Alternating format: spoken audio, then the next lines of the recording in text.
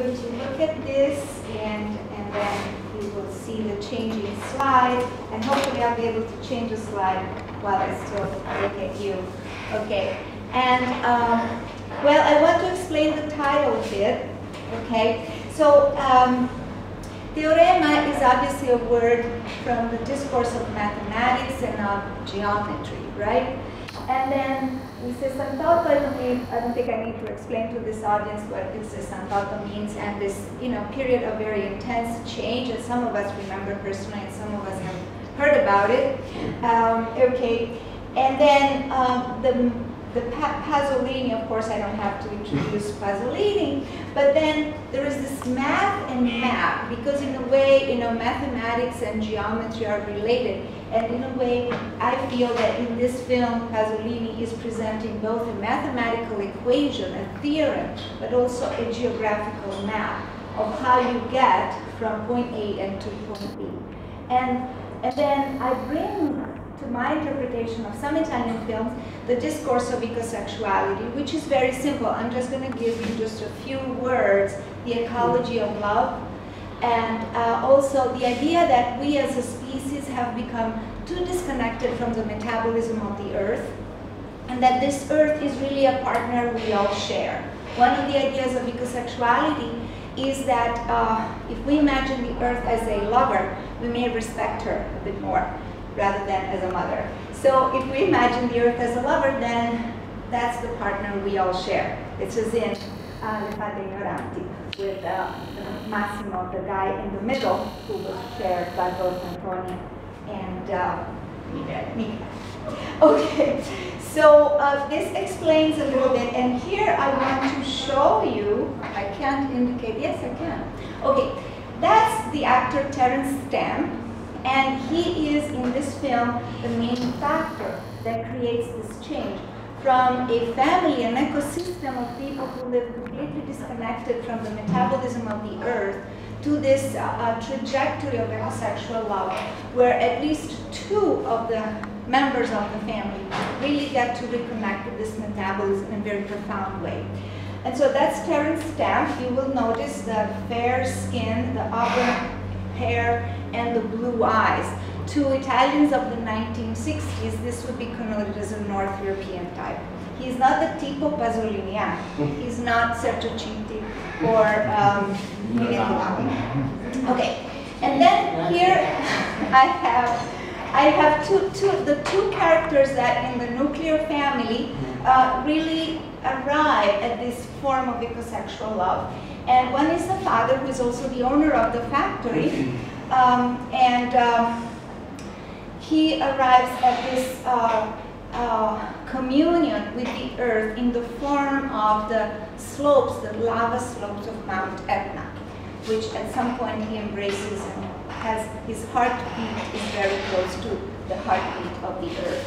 And then uh, the other character is Emilia, who's actually the, the uh, housemaid, uh, played by Laura Betti, and she becomes this protector of the live soil. You have to remember that in the 60s, the periferia encroached on all the campagna, right? It was really an advancement. It was very, very fast. And the periferia covered everything in concrete. It killed the live soil. So she seats herself, she has herself buried in this live soil construction site and that's the end of her trajectory of ecosexual love. So the other two elements that I have to bring in, and they apply to Özpetek just as well as they apply to Pasolini, are sexual fluidity and amorous inclusiveness. How does this permutation happen? How does this transformation, how does this family transform in all these agents of ecosexual love? Is because the visitor arrives and he's his behavior is very fluid sexually. He loves the person, not the gender. The gender is irrelevant to him. Mm-hmm. And he is also very inclusive. He includes all the four members of the family and the maid. Mm-hmm. so, and everyone is touched by this initiation that he performs. Okay, so the first um, part of the ecosystem I want to present to you is the factory, right? This film is set in Milan, the heart of it. And you will notice the straight lines the concrete, the rectangular forms, the disconnection from the metabolism of the earth. It's so dreary, right? So that's the first, first uh, element that the film presents to us. And then in contrast, we see the slopes of Mount Etna. A lot of people think this is a desert, they use gospel, they use Jesus and all that. You don't need that because this is actually a chthonic uh, element coming out of the volcano. And there is no, it's desert because it's lava. So, um, and, and, so this is a very important element in the whole film. It serves as a backdrop. It serves as a suture sequence between the different narratives of the different characters in the film. And also as a multiple symbol. Symbol of silence, of loneliness, of depression, of isolation, and of incommunicability among humans. But initially it is in the background. Then it becomes the partner we all share. In a, in a way, at the end, we understand that this earth is what brings them all together, becomes the partner we all share. So from just background, the earth becomes a protagonist. And that's, of course, the ecosexual interpretation helps to see it that way. You don't have to agree with me. You can write all the articles you want.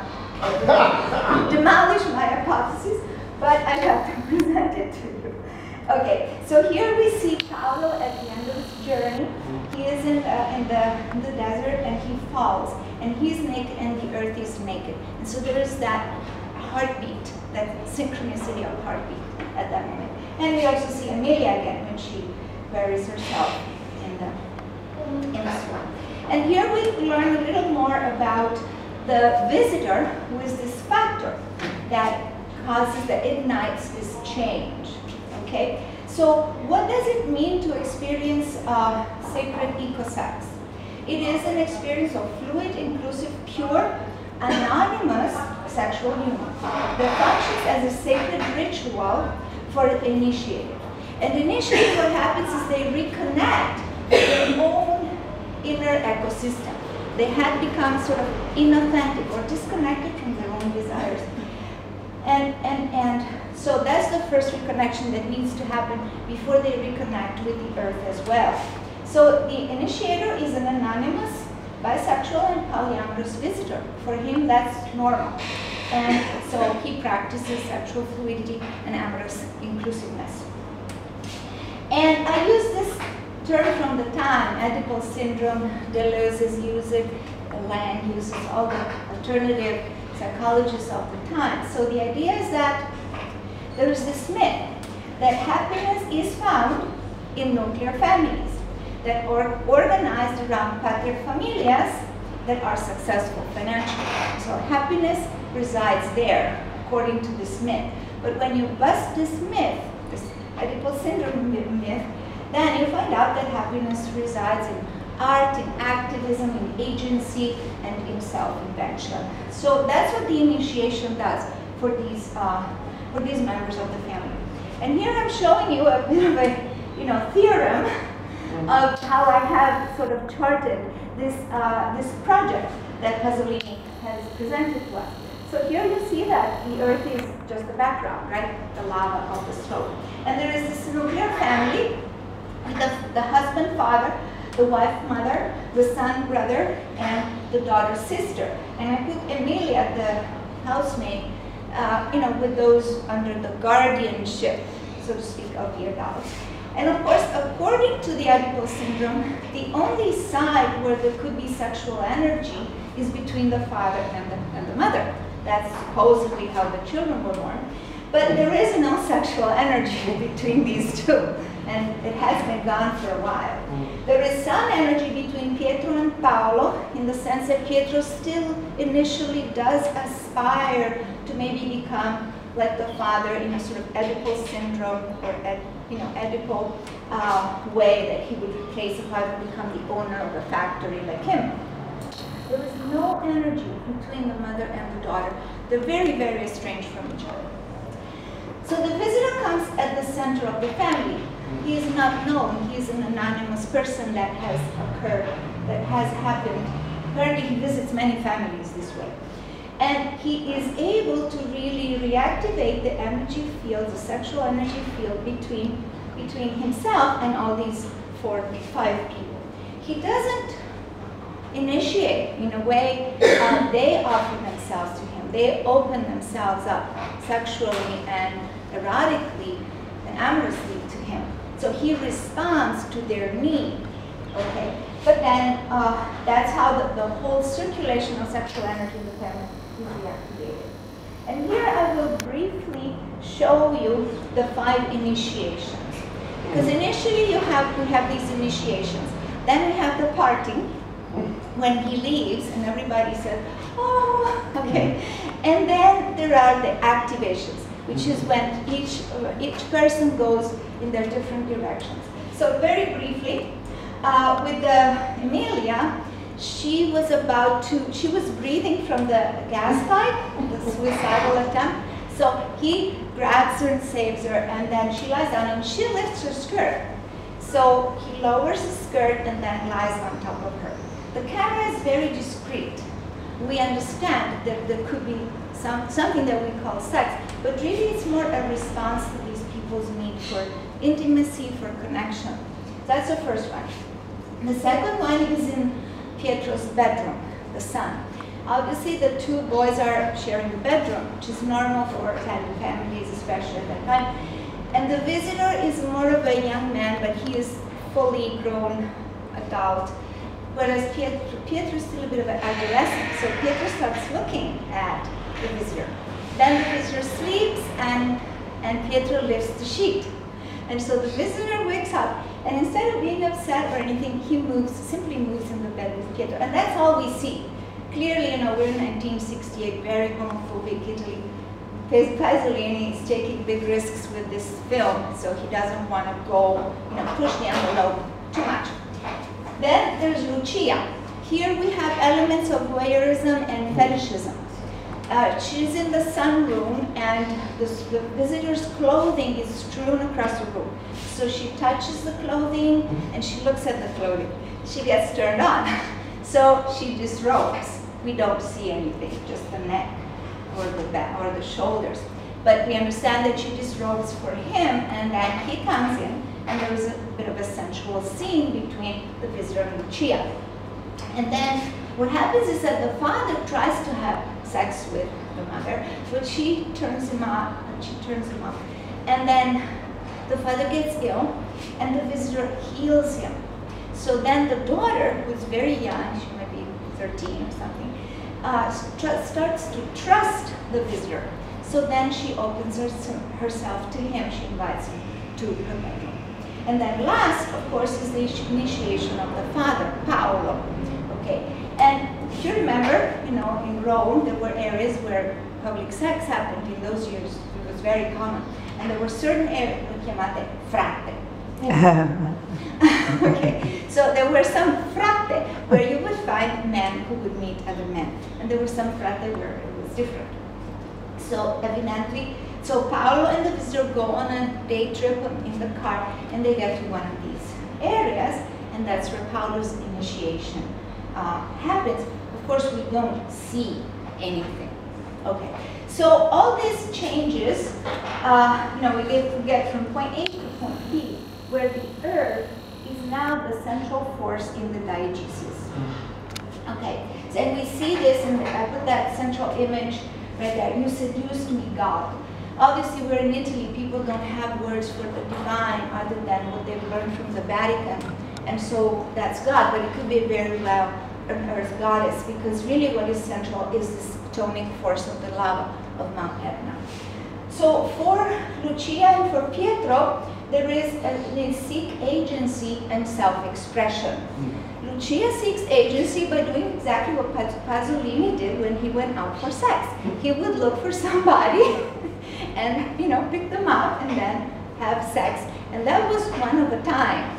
And um, and have fun. She has fun. She has agency. She experiences uh, joy and uh, pleasure outside of her conjugal bed, bed.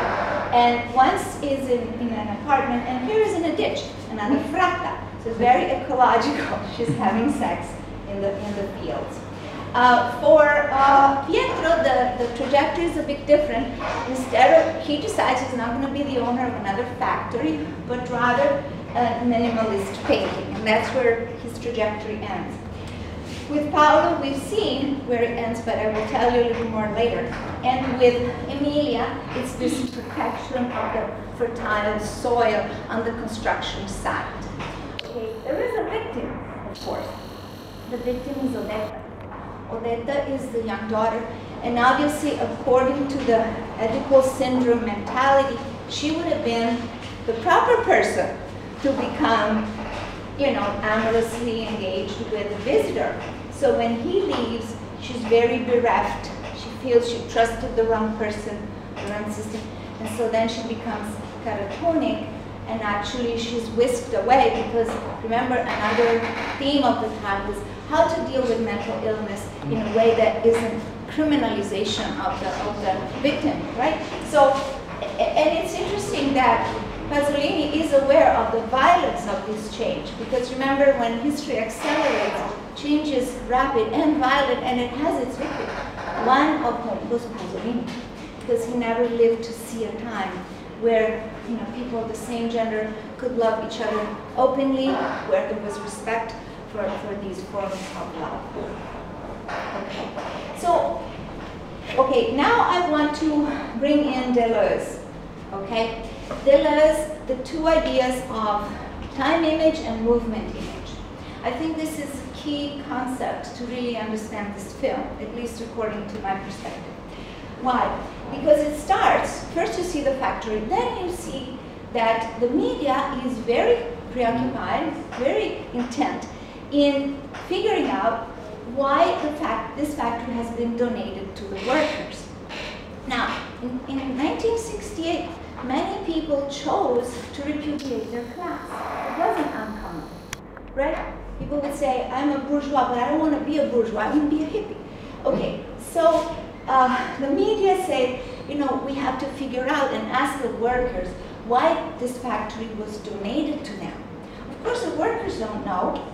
They don't never own the factory and they don't know why it was donated to them, right? But the media think that, that they should know. And so this is really the only, uh, this extra diegetic scene, because it happens before the story mm-hmm. begins, is actually the only movement image sequence. The rest is what Pasolini imagines that would have led to this donation. Okay?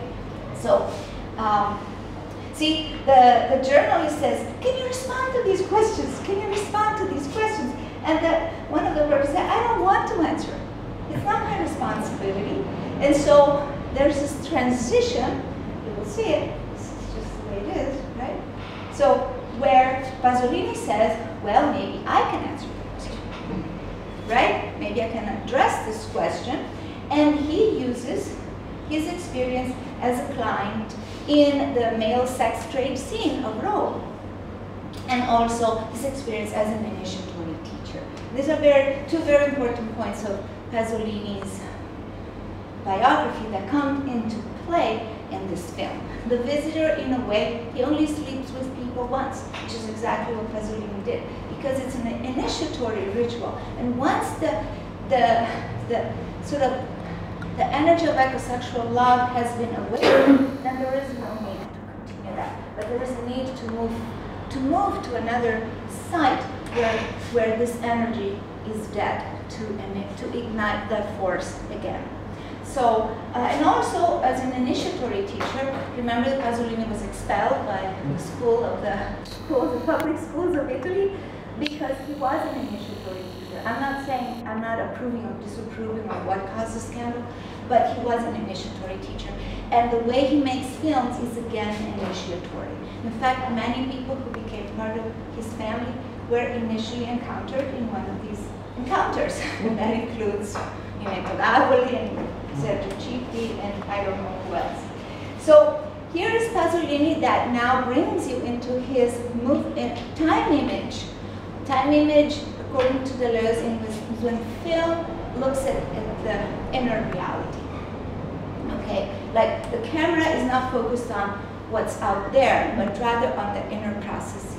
So this is Pasolini who, against the lava of Mount Etna tells you, okay, Pier Paolo Pasolini, I'll give you the theorem, I will disclose to you the equation that led to this donation. I won't be able to finish this because we are already a little short of time and I do want to leave time for questions. So when we enter the diegesis, we have these three phases, the initiations, the parting, and then the activation. And at the end of that, we have the solution to the equation. Nobody wants the factor. The factor has been donated because nobody wants it. And so that explains that series of facts that initially were presented. And I skipped some of the initiations, but I get to Paolo's initiation. You see that when Paolo becomes initiated, that's when the earth appears. And Paolo's consciousness really changes because he feels now the way a marginalized homosexual would have felt at the time of Pasolini. Laughing stock, somebody who was abandoned by all his friends, somebody who was expelled the Communist Party, and so on. So you've taken me by force. At the same time, this pleasure is so profound, this connection with a person who is like you, who has plumbing that you have, put it that way, is so powerful that he doesn't care. Um, and so this is all the Paolo's initiation, how the earth really becomes very important. Okay, so when Paolo has been initiated, clearly the Oedipal syndrome has been busted because now the pater familias doesn't want any of his status, right? So Ninetto Davoli comes back, he's the angel, the, the messenger, and says, well, the visitor is leaving now. And so then there is the parting, and Pietro is the first one who parts and says, you know, uh, the awareness of losing you has become the awareness of my being different. And then Lucia, actually she says, you know, you, you don't, haven't destroyed anything because my life was empty. It was one of those signore. Okay? Mm-hmm. and then Odetta actually is very concerned because she says, how can I replace you? And obviously she is already in that victim path. And then Pietro says, you've simply destroyed the idea I've always had of myself. Okay, uh, I want to finish four, so I'm, I'm going to go a little fast here. This is, oh, this is Odetta's sequence. Odetta becomes catatonic. She touches this image of the, the visitor and then freezes. And then you can see how Western medicine had no idea how to deal with mental illness nobody really takes even compassion on her, and then the paradigm is fine, and they take her away. And this is the activation of Lucia. She has her mini Morris, like the signore of the time, and she goes and picks up guys. This is her first foray, and she's quite successful, and she's kind of enjoying it. And you see Pasolini's gaze. Pasolini, the male body is always what there is to be look to look at, according, you know, in contrast with Laura Mulvey's theory, of course. And then this is her second foray where there's actually a guy who is watching because she's having, you know, she's like, she's having sex with this guy in the ditch, but there's some, there has to be somebody watching. And then this is Pietro, who gets on this existentialist trip, the minimalist, the artist who is a loser but nobody should know, and so on. And then he moves, and he moves to his own studio, and then that's how he ends up with that painting, whose color has the same color as the eyes of the visitor. And then uh, Emilia, very inter interesting trajectory. She goes back to her hometown, but she doesn't really enter uh, any room. She sits on the bench outside of the, of the barn, as you see her there. She takes this liminal position out there. And of course, uh, the people of the village are very different. They aggregate, they express affection, love, um, and so they start getting curious. Um, and then they think, well, she must be a saint or maybe a mm-hmm. witch. So this father brings this child that has the skin disease, and of course she heals it. And then of course they now they are persuaded that she is a saint and a witch because in popular vernacular religion, those can be the same. And then, of course, they want to feed her. In remember. And so she refuses the food. but wants to have a witch's brew made from nettles. So the children of the town go and harvest the nettles and then they make the brew and then she eats it. And at that point, here you have suspension of disbelief. Remember, Pasolini was an atheist, but he believed in some forms of natural religion. So here you have this woman who levitates on top of the roof, and of course the whole village now is super persuaded that she is both a witch and a saint. And uh, so that brings back the divine feminine, by the way, which is very important in mon monotheistic belief systems, you know, that exclude the divine feminine. So at that point, Emilia is ready for her action, sexual activism. And she recruits this older woman of the town, who is Susanna Pasolini. This is Pasolini's mother, for this act, for this action. And so they go toward the periferia. Okay, you see them walk through this rural landscape until they get to this threshold. If you look that left image, I don't know how well you can see it, but this is still rural, the pre-industrial Italy. Then you cross this road and there's this periferia is coming. It's encroaching, okay? So Emilia looks at it and says, I have to get myself buried there in this construction site because the soil is still alive and maybe I can save it from concrete. And so then Susanna does that for her, Susanna Pasolini. And then you see Emilia there, she's buried and she's crying. And she says that from this uh, little lake that forms itself at the at her side, uh, of her eyes, I don't know how well you can see these images, it's not a spring of pain, but a spring, uh, you know, it's the well of a new spring. So this is very homosexual. In fact, one of the things that the sexuals do is they make a performance with a bed full of dirt, and then they they play in this dirt. So it's a way to resacralize soil, which we always often consider something dirty. Okay, and this is Paolo, and of course this is where the teacher would say, come volevasi dimostrare, right? Paolo says, what would happen if I decided to strip myself of everything and give my factory to the workers? so Pasolini has, you know, given you the answer. Okay, and there is a little more. And so then Paolo starts doing what uh, what people, what, remember that on the scene of, of male sex